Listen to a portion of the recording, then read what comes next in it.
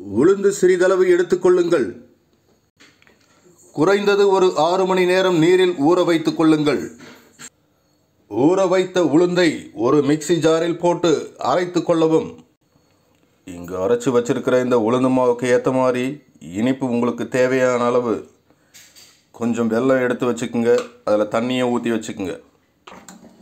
அரைத்த உளுந்து மாவில் சிறிதளவு தண்ணீர் சேர்த்து இந்த அளவிற்கு நீங்கள் கரைத்து கொள்ள வேண்டும்.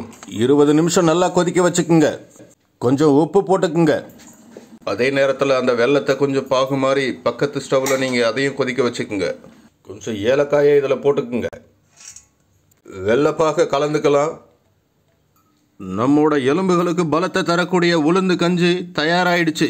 இதை நான் இப்போ சாப்பிட போகிறேன் நான் கிளம்ப வேண்டிய நேரம் வந்தாச்சு. நீங்களும் உங்கள் பிள்ளைங்களுக்கு இந்த மாதிரி செஞ்சு கொடுங்க. ரொம்ப அருமையாக இருக்கும்.